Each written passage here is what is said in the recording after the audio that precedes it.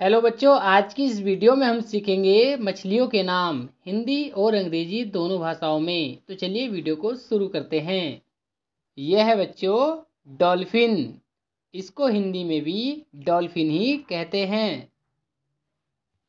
और यह है बच्चों एम्परर इसको हिंदी में बेला कहते हैं। अब यह है गोल्ड फ़िश इसको हिंदी में सुनहरी मछली कहते हैं। अब यह है बच्चों बिलोफिश बिलोफिश को हिंदी में बिलो मछली कहते हैं। और यह है बच्चों, मिल्क फ़िश। मिल्क फ़िश को हिंदी में दूध मछली कहते हैं।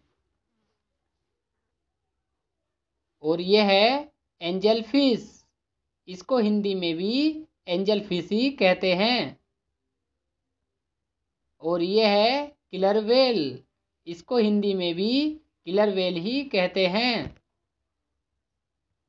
अब ये है क्लाउन फ़िश इसको हिंदी में भी क्लाउन फ़िश ही कहते हैं। अब यह है कार्प फ़िश इसको हिंदी में रूहू मछली कहते हैं। अब यह है बच्चों मुरेल। इसको हिंदी में मुरैल कहते हैं। और यह है हैमर हेड शार्क इसको हिंदी में भी हैमर हेड सार्क ही कहते हैं। अब यह है बच्चों, कटल फ़िश। इसको हिंदी में कटल मछली कहते हैं। और यह है मून फ़िश। इसको हिंदी में चाँद मछली कहते हैं। और यह है बच्चों स्टार फ़िश इसको हिंदी में तारामीन कहते हैं।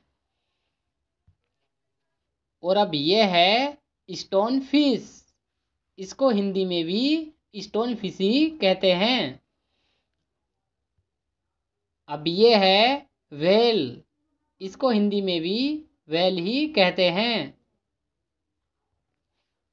अब ये है ब्लू स्टार फ़िश इसको हिंदी में नीली स्टारफिश कहते हैं। और यह है ईल। इसको हिंदी में बाम मछली कहते हैं।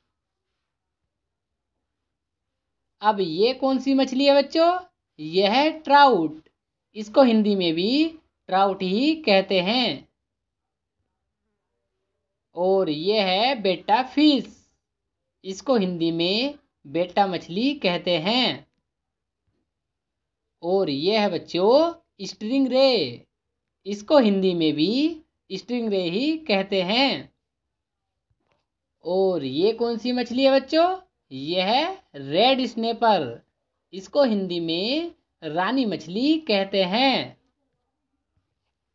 और यह है बच्चों ऑस्कर फ़िश इसको हिंदी में ऑस्कर मछली कहते हैं।